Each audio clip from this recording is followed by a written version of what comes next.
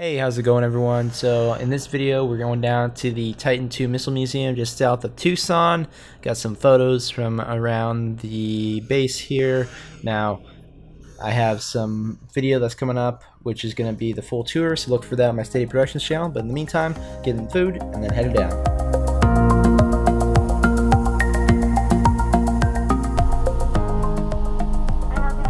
Hey, um, can I get a carne asada burrito, please? Uh, that'd be it.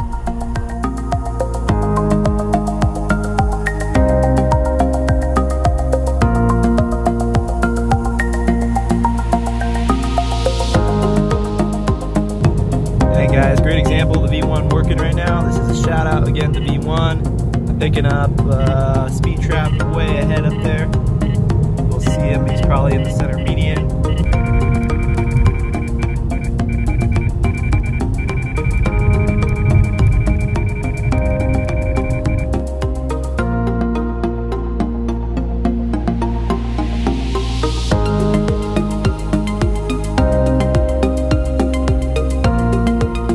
Some fun facts about Interstate 19 which you're just entering is the only freeway in the continental US to have metric signage and that's due to the Metric Conversion Act. So you can see the sign right here, it says Tucson, 3 kilometers for the airport there.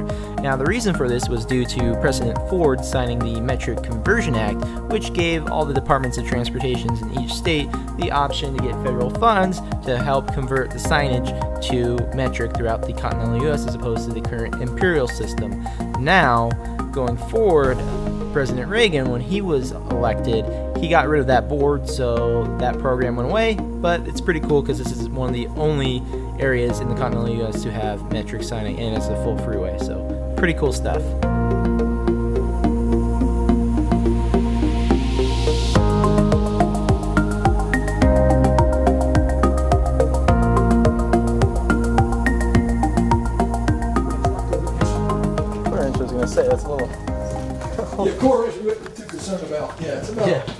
Probably, yeah, about four. There you go. Thank you. Thank you. Cool. That's good. That's so cool to see in real life.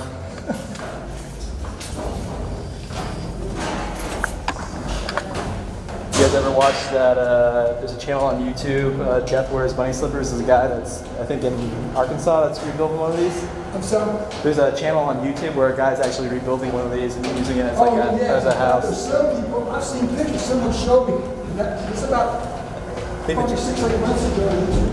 Yeah. Yeah, I You think the must channel. have a pretty deep pocket to be able to do that. Yeah, I mean, just thinking about like how thick these doors are and everything. Oh, yeah. It's, Well, uh, the big problem is getting all the debris out of it. I mean, oh yeah, there's a couple sites down here that are still. I mean, you travel by them. There's one like down the road. Oh, yeah. That's fully blown up. Oh, So yeah. They backfill it with gravel. yeah, watch. All the way to the right. Green light? Yeah. Let go. That's it. Your job is done. Oh, where's your oops button? Oh, I forgot. I changed my mind, but Reset. No, that's something totally unrelated. There's not one. What we Okay. do, we can't stop. That green light means the butterfly control valve is good. Batteries activated. There are two batteries on that missile being force-fed electrolyte. They've been dry to this point in time. They have bladders, now they're all going into the battery. 28 seconds, they're gonna power up. APS power light tells us the missile's on its own power. It is one happy camper, ladies and gentlemen. It doesn't listen to any more humans now. It's gonna do its job. Silo doors opening. That's the tipsy alarm going off. You want the door open, you're gonna launch your missile. Anything from the guidance coming to the computer at the last second is going to the computer now. I'm sorry, to the missile. Fire, you're gonna hear more alarms going off, all kinds of red lights. Well, you got fire, the engines are firing. You won't fire. And the last thing, Commander, is liftoff.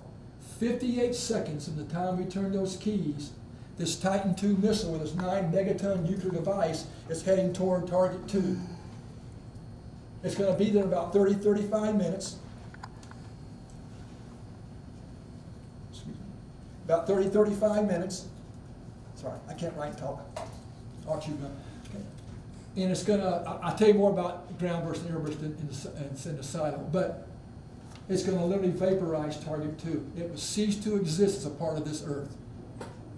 And I'm going to give you details of that when we go down here, okay? Now, we're going to go down to the silo. Major, this, is a little souvenir for you. Uh, what does it say in red? Turn, turn the key. Yeah, she, she says she turned the key. You heard her confess, right? Because we're going to go down and see if the missile's there. If it's not, do you have a credit card? I can't afford one. Okay, we're going to let the silo close the door and all over to the rest. So what was that uh, red light that was beeping above the door? that, uh, that there's, that things are being activated. Uh, okay, cool. Things are happening, yeah. That's cool. That still works. But the real thing is not happening. That's what's good. Yeah.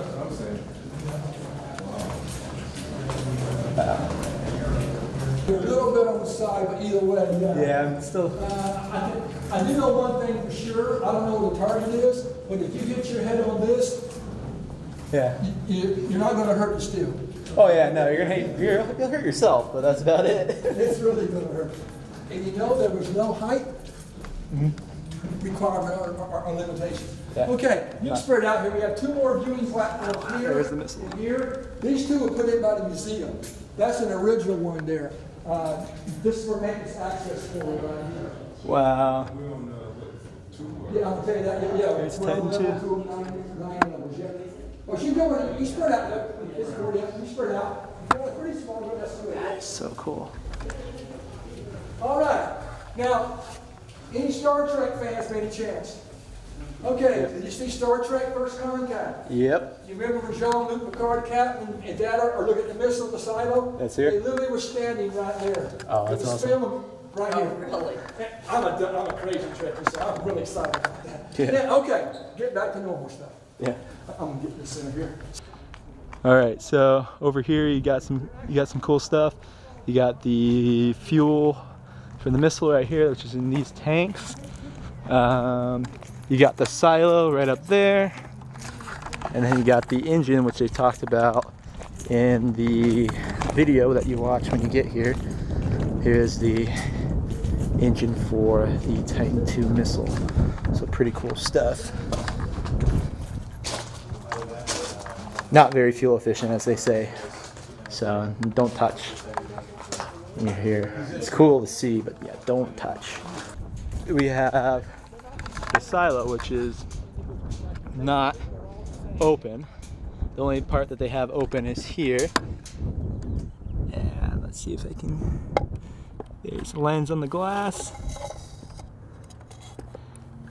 So that's what it looks like down there. Just finished up the tour. It was an awesome event. I mean, awesome tour of the site. So if you like any of the, if you're a history buff, Cold War nostalgia, any of that, definitely come check this place out. Really worth. It was just really worth the drive. Uh, I drove down from Phoenix to check this out. Um, they have actually, which is cool.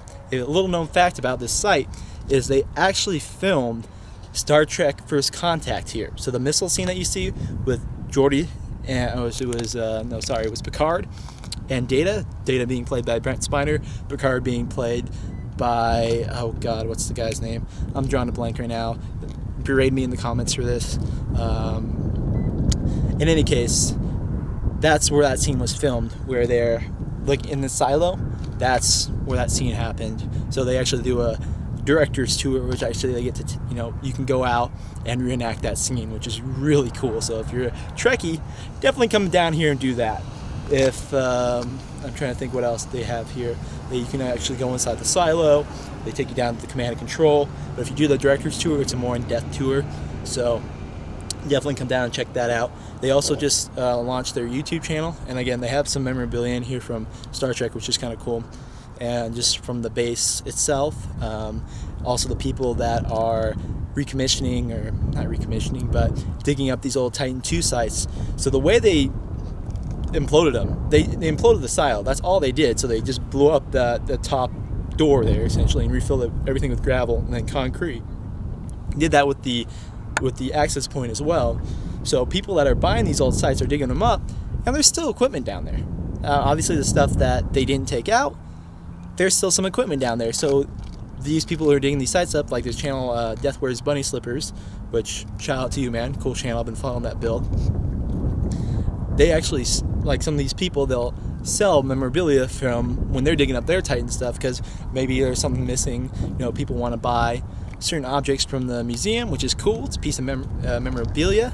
um, those guys work with the museum here and get some cool stuff for for the museum, and then also cool stuff that you can take home with you. Um, trying to think what else. Um, I mean, you can see the missile from the top of the silo. So I mean, all this stuff that you saw there, it's pretty cool. But definitely, if you're in the area, come check this place out. Um, they're down in the town of Sahuarita, which is maybe like 20 minutes south of Tucson. Definitely worth the drive from Phoenix today to get down here. If you guys want to see anything else, like cool military nostalgia like this, please leave a comment and let me know where you want me to go to, where you want me to check out, and then I'll uh, I can see if I can work that into my schedule. So, as I like to end with all my videos, stay classy, everyone. Thanks for subscribing. Please like, comment, do all that fun stuff.